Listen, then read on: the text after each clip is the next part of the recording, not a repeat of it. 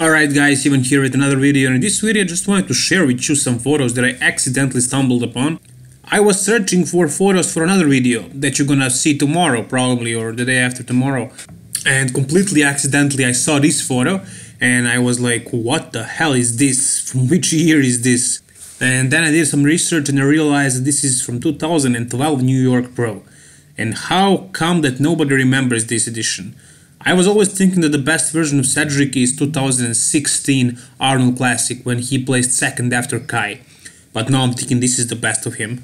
This is probably the best version of him. And not just the best version of him, but possibly the most aesthetic and the most complete, in my opinion. In, in my uh, point of view, the most complete physique that ever stepped on open stage since, I don't know, since 2000s. What do you think? Honestly like you can see the classic lines you can see the small waist dominant arms everything is popping. Look at his triceps jesus christ. Look at the, the, the, the chest look at the hamstrings the quads. Everything is on point he has amazing genetics and on top of that he has amazing conditioning amazing muscular development the fullness. There are no gaps in his physique. I mean look at his triceps compare them to those of uh, steve kuclo and juan morel here. Not even close he's annihilating them. So he had a fullness, he had a completeness. This guy is so blessed genetically. I mean, let's be real. And uh, he was dry. So you can see his abs here looking very good as well. His abs right now, for the last few years, are not the best. He's kind of holding the film of water in the lower part of his abdominal region, but that back then in 2012 it looked much better. And you can see here his chest. So that's something you don't see very often in today's modern bodybuilding. Chest is not something that pops out too much. You can see dominant shoulders and arms over chest but not with Cedric. I mean still you can see crazy lats crazy uh, arms maybe shoulders a little bit a bit smaller but the chest is really really looking good. So I like to see that.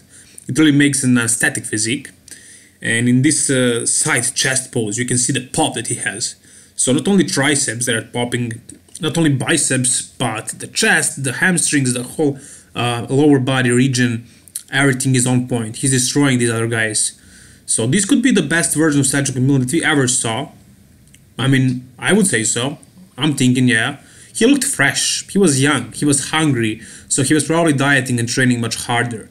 And for that reason, he looked like this and this is really impressive. I mean, the legs are popping, the lats are popping, amazing lat spread.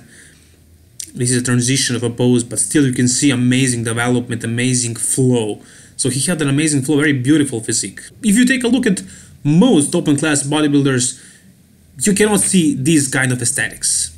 He was dry, but I mean, look at this uh, back lat spread. It's very, very dry and full at the same time, but it, it looks healthy, it looks fresh.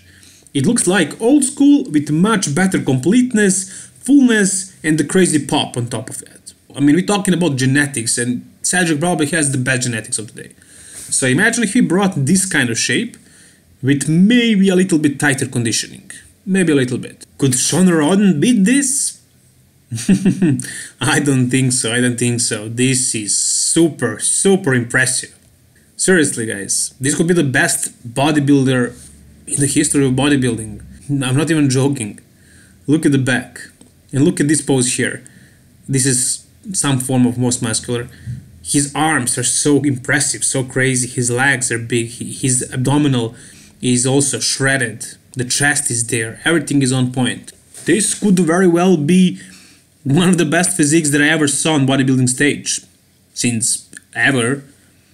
I don't know about you guys, what kind of taste do you have, but me personally, I think I would say so, alongside a few other bodybuilders, but this is one of the best bodybuilders ever. The best physiques in the world. So what do you think? Do you find this extremely impressive as much as I do? And do you think this is the best edition of Cedric McMillan? Do you think if he came like this in 2019, could he win the Mr. Olympia? I think he could. And that's about it for this video guys. Make sure to like the video and to subscribe to my channel. All the best. Bye bye.